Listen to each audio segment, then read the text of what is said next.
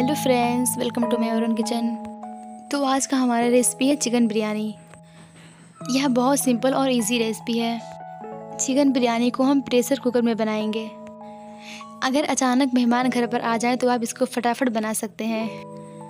आप वीडियो को पूरा ज़रूर देखिएगा. अब हम स्टार्ट करते हैं बिरयानी बनाना. हमने हाफ़ के जी चिकन लिया है, इसको हमने वॉश कर लिया है. अब हम इसमें कुछ फ्रेश पुदीना के पत्तों को ऐड करेंगे और चार से पाँच हरी मिर्ची है और एक बड़े साइज़ का टमाटर है और आधा चम्मच हल्दी पाउडर और थोड़ा सा हम इसमें लेंगे काश्मीरी लाल मिर्च पाउडर और थोड़ा सा हम इसमें लेंगे गर्म मसाला। अदरक, हरी मिर्ची, लहसुन को हमने कुछ इस तरह से कोट लिया, दे सकते हैं। हमने दो चम्मच लिया है।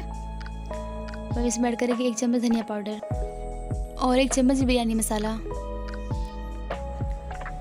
हमने कुछ खड़े मसाले लिए थे जिसको हमने इसको इस तरह से कूट लिया है दे सकते हैं। इसको भी इसमें ऐड कर देंगे और हम इसमें नमक स्वाद के अनुसार ऐड करेंगे। इसको हम मिक्स कर देंगे। मिक्स करने के बाद इसको हम फ्रिज में रख देंगे दस मिनट के लिए। हमने मिक्स कर दिया है। हमने दो बड़े साइज़ का प्याज जिसको हमने कुछ इस तरह से काटा है और हमारा तेल गर्म हो चुका आप देख सकते हैं। अब हम इसमें प्याज को फ्राई कर लेंगे। गोल्डन ब्राउन फ्राई करेंगे।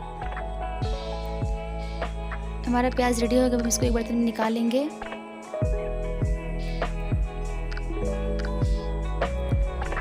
हमारा तेल गर्म हो चुका है, अब हम इसमें खड़े मसाले ऐड करेंगे।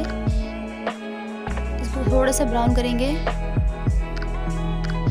अब हम इसमें कुछ कड़ी पत्ते ऐड करेंगे। इसको थोड़ा सा ब्राउन करेंगे। अब हम इसमें चिकन को ऐड कर देंगे, जो हमने मिक्स किया था।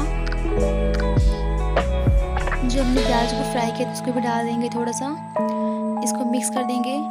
अब हमें इसको ढककर चार से पाँच मिनट के लिए भूनना है। हमने दो गिलास चावल लिए हम इसको वॉश करके इसको पानी में भिगा देंगे। आप देख सकते हैं, हमारा चिकन भून कर हो गया है।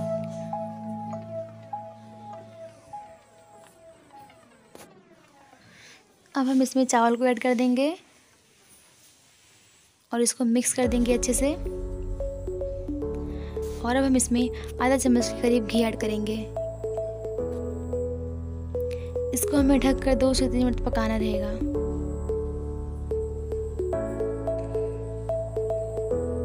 आप देख सकते हैं भून कर हो गया है। अब हम इसमें गर्म पानी ऐड करेंगे। हम इसमें तीन गिलास के बराबर पानी ऐड करेंगे। इसको मिक्स कर देंगे। अब इसको हमें मीडियम फ्लेम पर एक सीटी लगाना है। फिर हमारी बिरयानी रेडी हो जाएगी। आप देख सकते हैं हमारी बिरयानी रेडी हो गई है।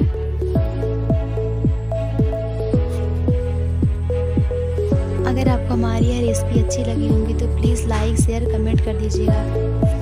और अगर आप इस चैनल पर नए हैं तो प्लीज़ सब्सक्राइब करना बिल्कुल thanks for watching my video